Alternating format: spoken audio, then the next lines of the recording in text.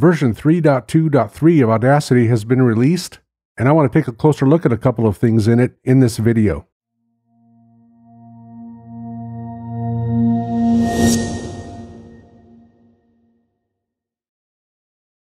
Hey friends, Mike Adams here with Learn Audacity. Version 3.2.3 has been released. I made a previous video about this, but I ended up removing it because I had some weird stuff happen to me and I wanted to research that a little bit further before I released another video. So we'll talk about that in this video as well. But mainly, I just want to talk about what's changed in version 3.2.3 of Audacity, which isn't a whole lot. And yet, if this is a bug that I discovered, it might be something worth looking into further. But let's take a look at the screen that I have open. I have a, just a lame piece of audio here that I recorded a few minutes ago so that we can put some effects on it. And part of what happened to me in the last video is when I went to put effects on this or on any piece of audio, my effects drop down window looked a lot different. I didn't change anything. Now I know you can go in preferences and change the way that this looks, but I hadn't changed anything. Nothing had changed. I've been using it the same way for a long time. So when I opened up version 3.2.3 and it displayed this drop down menu to me, I assumed that it had been a change by part of the change in version 3.2.3 of Audacity. But what I think happened is somewhere along the line, there's been an option called default that has been added to the way that we view this. Let me show you what I mean. I'm going to click out of here and let's go over here to preferences and let's open up the preferences window. And if you come down to effects, you can see you can select the kind of effects that you want to have present in that menu. And then you can sort it or group it. Now, I'm not sure when this default option took effect, or became part of Audacity. But I went back to version 2.4.2. Yes, I still have version 2.4.2 on my Mac. And I opened it up, and there's no default setting there. It doesn't exist. The other uh, ways to sort are there, but there's nothing called default. Well, when I opened up Audacity 3.2.3 for the first time, evidently it went to this default selection. And evidently, the default selection that's there, I'm going to cancel out of this, Evidently, that default selection is this when you look at the uh, effect drop down window. Why mine changed to default, I don't know. It kind of caught me by surprise.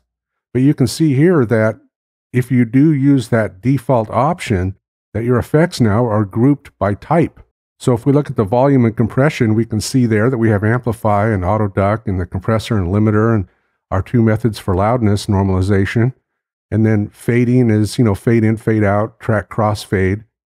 Pitch and tempo, something I don't use in spoken word recordings, but you might.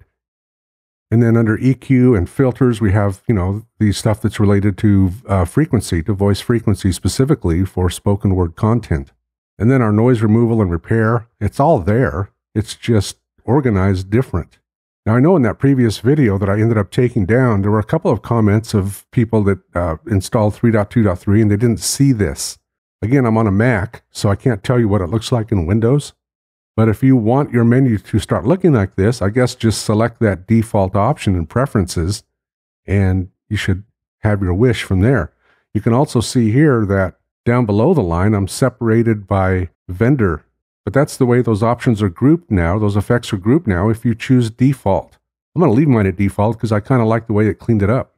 So for me, that kind of took some of the mystery out of what happened because again, when I started 3.2.3 the other day for the first time, I hadn't changed anything. And it just came up that way. And I thought, well, this is interesting. It must be a part of the upgrade. So I went back to a couple of earlier versions that I have in the 3.0. whatever uh, family and that default is there in those as well. So I mean, I'm not sure if it if it writes that backwards, if it's backward compatible or what, but uh, it does come up default now.